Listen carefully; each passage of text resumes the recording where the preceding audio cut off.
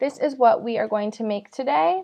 And these are ones that you can print out, cut, and laminate if you'd like. It's super easy. I use this all the time for teaching. And so if you are familiar with Canva, then this might be something really easy for you. And if you are not, then I'm going to take you through the whole thing. So Canva is free to use. There are two versions. I used the free version for the longest time, and I've recently now just switched to the pro version, which I'm really, really loving. If you end up using Canva a lot, it's so worth it. But regardless of what version you have, you're going to be able to create this today and you can use the steps that I teach you to make flashcards of any kind.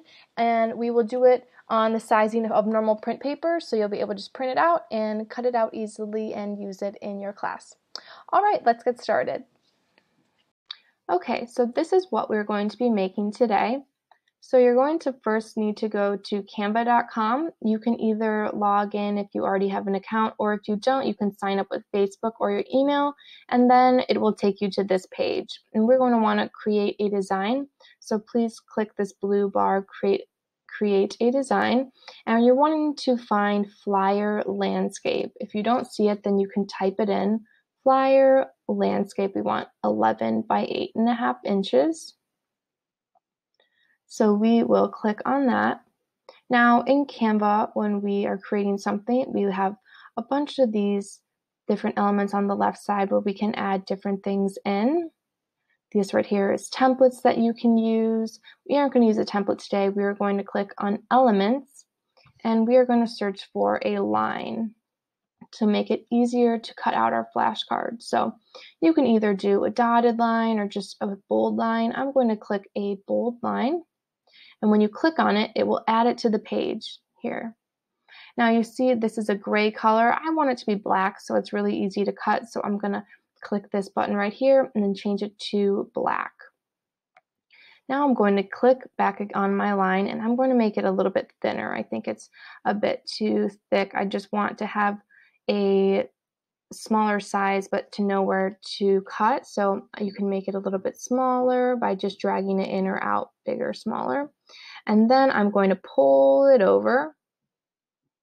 And once I have it so it goes across the entire page, I need to make sure it's center.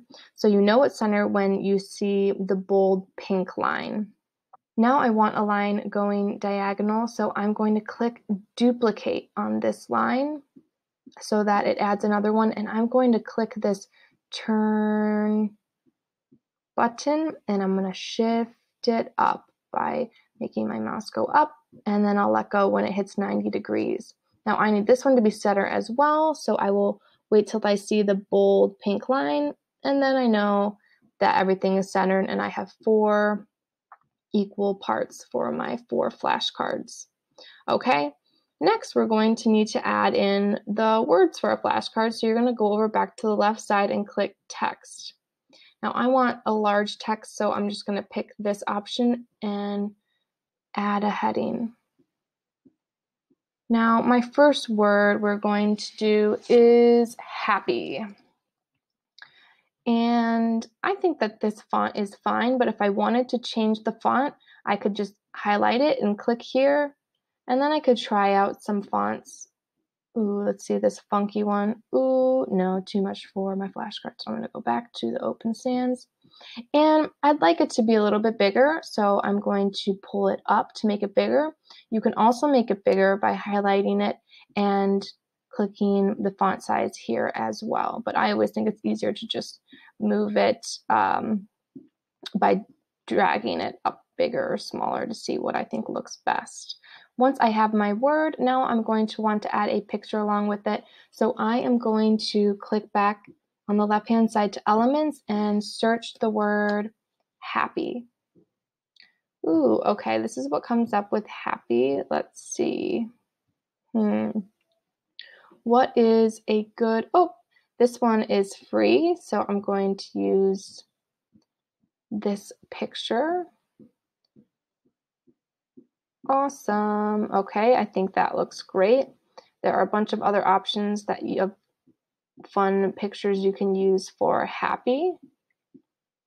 Now, I have the pro version, so I can use more pictures, But if you see just the free and not the free with the crown, then those are ones that you can use if you don't have pro. Okay, now I'm going to need to make my next flashcard. So I am going to click this word and I'll go over to the more and I'll click duplicate. Okay, and then I'm going to add my next word, which will be, I'll double click on that, sad. Okay, then I will go back to elements and I will search sad. Ooh, hmm. Here I have some pictures. Let's do this one. I'll click it, drag it in, da, da, da, make it in the center. Then I will click this word again, go to the more and click duplicate. That way I can just drag it over. It's an easier way that you don't have you don't have to uh, re-add text every time and you know that they'll all be the same size is why I do that.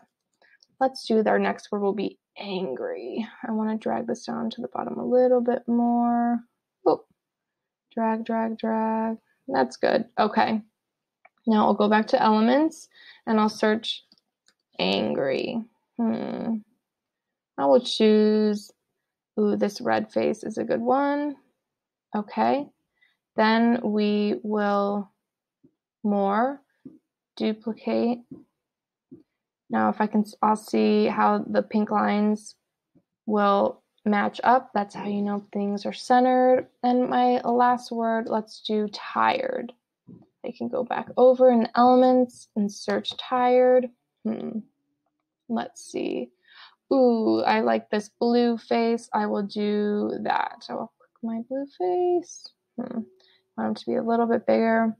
All right, and there we have it. I have four lovely flashcards that I can use. If you want more, what you can do is just click copy page, and that will add another page, and then you can create more. Let's say the next word you have is lazy or excited, okay? Then you can just copy it here again and make another page. So once you have your page, then you're going to click this button here and click download. And I always download it in the PNG version. I think that it is the best quality. And I'll click download.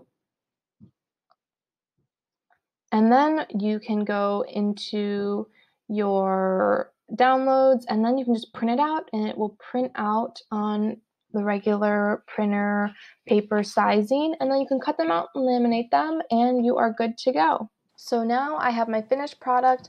I laminated mine and because I have the lines, I am just going to now cut them out.